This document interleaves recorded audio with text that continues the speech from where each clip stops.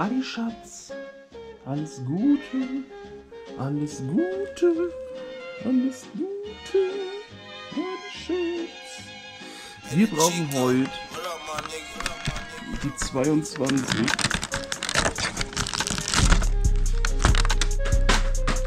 Adi, guck. Adi, guck. Ah, nicht die Tüte. Nicht die Tüte. Guck mal, wie es zuckelt. Tüte so rum. Ja. Ja, Mann. Bruder, verstehst? Ich küsse deine Augen, guck. so ein Schmarrn. Uh, uh. USA. Uh. Oh, oh, das ist schwer. Und fett. Hallo. Geh doch raus. Ach, meine Güte. Was ist das für ein Weinhumpen? So, willkommen zu einer neuen Folge auf meinem Kanal Ramses, der Dicke, beziehungsweise eine neue Folge Adi und der Bier-Adventskalender von Kalea. Aber erstmal müssen wir zu Pupsis Türchen Nummer 22 kommen, vom Karls Adventskalender für 90 Euro. Alte Bauernregel, selbst ein kurzes Bad macht schön den Wintertag. So, das ist schön. Und hier ist handgemacht in Rövershagen Erdbeer-Badepulver. Das ist nicht für die Nase, das ist für die Wanne und dann seht ihr aus wie Susanne. So, das ist richtig schön. Ob das schmeckt, weiß ich nicht. Dann ist bestimmt die ganze Badewanne zu. Was wir jetzt haben für Bier, da konnte ich meinen Augen kaum trauen, denn ich hab's äh, glauben, ich hab's fast gar nicht aus dem Kalender rausbekommen, weil es so einen dicken Bobs hat. Wo kommen die dicken Böpse her? Eigentlich aus Amerika. Das ist aber französisches Bier. Glaube ich zumindest. Es hat einen super schönen goldenen Kronkorken hier. Der sieht richtig toll aus. Guckt dir das an. Bier Shanga. Da ist hier äh, Gersten, Malz, Hopfen, Weizentropfen, alles drauf. Dann habt ihr hier wie an der verdorrten Weinflasche, habt ihr noch sowas, ne, so rund, so ein rundes Etikett, also so eierförmig. Da steht Biere Blonde La Guadal à l'Ancienne. Und dann weißt du schon, das muss französisch sein, denn dann guckst du hier unten hin und denkst, auf dem Fettbauch ist auch nochmal ein Etikett.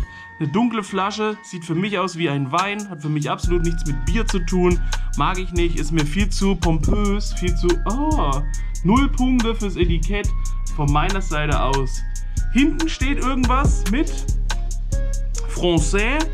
Vorne steht Onze Tradition Froment de Blé, Bier Blonde à l'ancien, Houblon le Flindre, Livre Orte und Fermentation auch noch. Das hat auf jeden Fall 7,2 Prozent.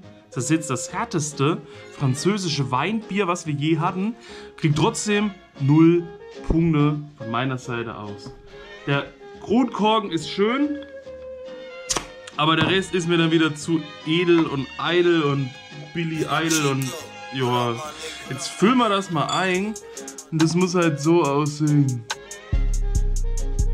So, jetzt wird es eingefüllt. Vielleicht kann mich ja trotzdem die Farbe und der Geschmack überzeugen und ich dürfte mich nicht vor so edlen Tropfen irgendwie äh, zurückziehen und verweigern. Ich muss das alles auf mich zukommen lassen. Jetzt geht es noch nicht mal ganz rein. Das ist schade. Wir können es uns angucken. Also die Farbe ist eigentlich richtig gut.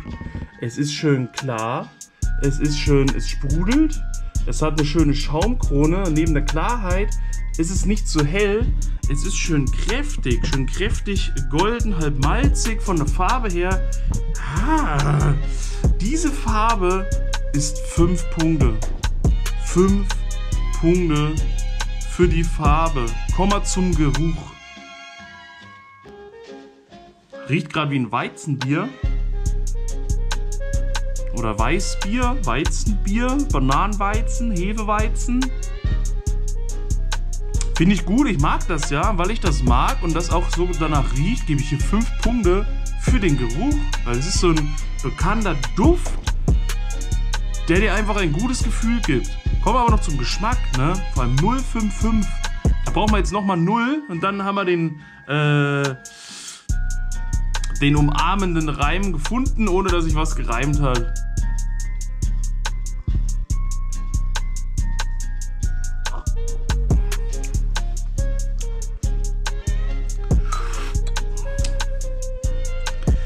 Es hat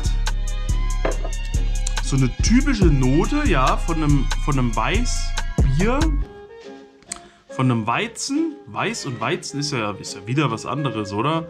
Ne, ist dasselbe, ne, ist das gleiche, ne, ist so ähnlich, ist, ich hätte 7,2 Prozent, da stellst du dir jetzt heftige Plörre vor. Aber irgendwie geht das voll klar vom Geschmack her.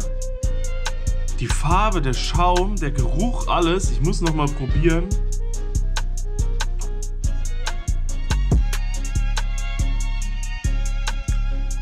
Es ist beim Trinken an sich nicht zu stark. Du kannst viel Schluck nacheinander nehmen.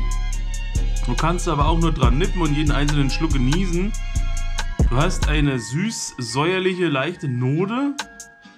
Gefühlt schon was Cremiges.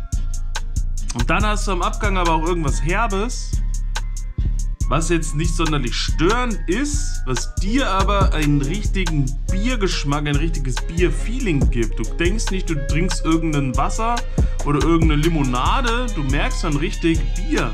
Ich glaube, so muss ein Bier einfach schmecken, dass es diese verschiedenen Punkte erreicht und durchlebt, ohne dabei dich zu überfordern und zu stressen, sondern einfach interessant zu bleiben.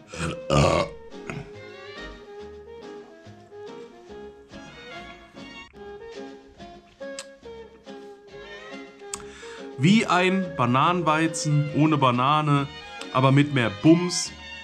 Das finde ich gut, das finde ich interessant. Fünf Punkte sind es für mich dennoch nicht, weil es halt boah, zu bierig und kräftig ist.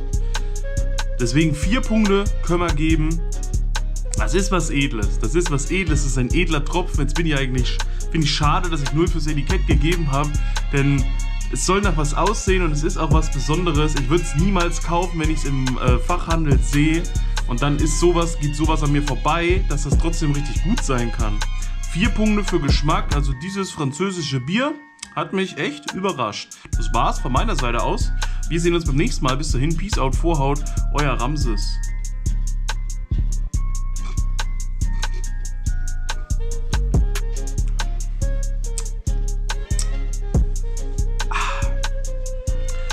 Schmeckt plötzlich die Pale Ale nur noch bitter. Boah, jetzt wären es vielleicht drei oder zwei Punkte. Nee, wir bleiben bei der 4. Das muss man halt genießen. Ciao.